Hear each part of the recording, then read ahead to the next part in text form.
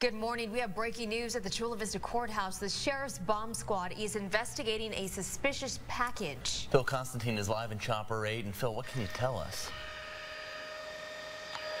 Uh, we have good news. They've just started letting people back in the building. Now, this started around 845. They found uh, what they thought was a suspicious device. They sent in the robots. Well, we'll show you some video of that. Uh, and to check out this device, now it appeared to be a blue backpack. Uh, eventually, the uh, bomb disposal people went in, checked it out, came back out with a blue backpack. They uh, flagged off everybody else, told them that it seemed to be okay.